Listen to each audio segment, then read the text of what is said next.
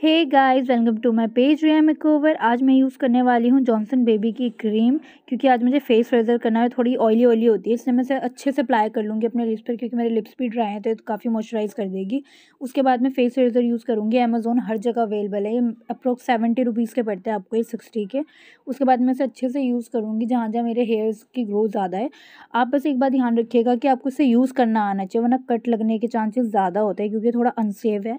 उसके बाद मैं three in one primer use करने वाली हूँ और इसे अच्छे से अपनी स्किन में ऑब्ज़र्व करवा लूँगी। ऑयल फ्री है तो काफ़ी मतलब लाइक बेबी स्किन दे देता है, काफ़ी सॉफ्ट अच्छे से कर देता है। उसके बाद मैं फ्लैट ब्रश यूज़ करूँगी। अपने स्किन से two time dark tone use करने वाली जहाँ जहाँ मेरे डार्क सर्कल्स हैं, वहाँ वहाँ मैं इसे अप्लाई करने वाली हूँ और इसे मैं बेबी स्पॉन्ज से अच्छे से ब्लेंड कर दूँगी ताकि अच्छे से ऑब्ज़र्व हो जाए।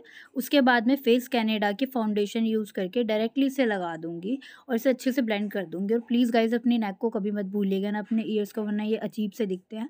आप इसे अच्छे से ब्लेंड कर लीजिए। उसके बाद डार्क टोन ब्राउन यूज़ करिए मैंने कॉन्टोर के लिए। जहाँ जहाँ पर्सनली मुझे लगता है कॉन्टोर की ज़रूरत है, मैं वहाँ वहाँ करती हूँ। फेस के हिसाब से हर चीज़ अलग होती है।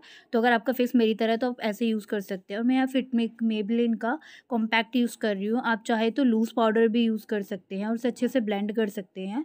आप देख लीजिए, उसके बाद मैं फ्लफ़ी ब्रश लेके पूरी फेस पे अच्छे से उसे अप्लाई कर दूँगी। अपनी नेक पर अप्लाई कर दूँगी। उसके बाद मैं क्या करूँगी, मेरे पास ऑरेंज ब्लशर है, मैं वो यूज़ करने वाली हूँ अच्छे से, क्योंकि मेरी जो ड्रेस है वो लाइट है, इसलिए मैं ऑरेंज ब्लशर यूज़ करूँगी। क्योंकि पिंक बहुत ओवर रोड लगेगा। उसके बाद मैं बहुत लाइट ब्राउनिश कलर यूज़ करके अपनी पूरी आइस पे अच्छे से ब्लेंड कर दूँगी। Not crease not cut crease कुछ भी नहीं। डायरेक्टली से पूरे में अप्लाई करूँगी। उसके बाद में शिमर शेड उठा के उसको हैंड से अप्लाई कर दूँगी। उसके बाद मैं डार्क ब्राउन ब्रश से ना अपनी आईज पे साइड्स में और कॉर्नर्स में अच्छे से ब्लेंड करूँगी ताकि ये थोड़ा निखर कर आए मेरा आई मेकअप उसके बाद मैं अपनी आईब्रोज़ के लिए लाइट शेड यूज़ करने वाली हूँ डार्क ब्राउन की। नॉट ज़्यादा ब्लैक ना ब्राउन लाइट शेड यूज़ करूँगी और जहाँ जहाँ ज़रूरत है वहाँ वहाँ फिल करूँगी। प्रॉपर आईब्रो शेप नहीं देने वाली मैं।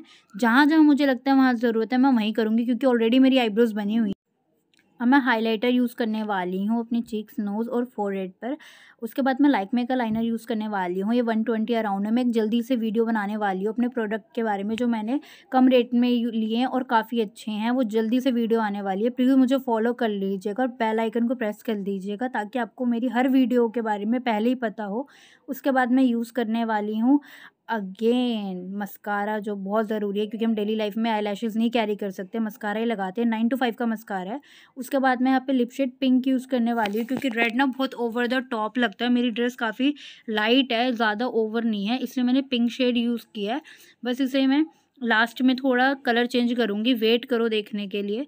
अब मेरे पास एक लिपस्टिक पड़ी थी जिसका ब्रश टूटा हुआ था। मैंने उसको रीयूज़ करने के लिए क्या किया, उसी से बिंदी अपनी अप्लाई करी, उसी से अपनी मांग भरी, क्योंकि मुझे रीयूज़ करना था। ये डार्क महरून शेड है क्योंकि मुझे डार्क कलर बहुत ज़्यादा पसंद है और मेरी स्किन टोन के हिसाब से डार्क कलर ही जाते हैं। अब मैं डार्क शेड से क्या करूँगी इसी लिपस्टिक वाले ब्रश से साइड से अप्लाई कर दूँगी ताकि वो थोड़ा डार्क लगे। उसके बाद मैं मिस्ट्री मिलान का मेकअप फिक्सर यूज़ करने वाली हूँ। ये शिमर शेड है, आप लोग देख लीजिए, बहुत बहुत अच्छा ग्लो आ रहा है मेरे फेस पे। ये नॉर्मल लाइट है क्योंकि यहाँ पे मेरी रिंग लाइट ऑन नहीं हो रही थी, पता नहीं क्यों ख़राब हो गई थी। तो अब यहाँ पे मेरी रिंग लाइट ऑन हो चुकी है, आप देख सकते हो कितना ग्लोइंग लग रहा है। मेरी नेक और मेरा फेस दोनों सेम लग रहा है और ये नेचुरल है। फ्रंट कैमरे से आप लोग खुद देखिए कितना फ़र्क है। बहुत ही ज़्यादा अच्छा मेकअप हुआ था गाइस प्लीज़ मुझे फॉलो करिए ताकि मैं आपको रोज़ ऐसी मेकअप की वीडियोस दूँ और आप भी डेली अपनी लाइफ में यूज़ कर पाएँ।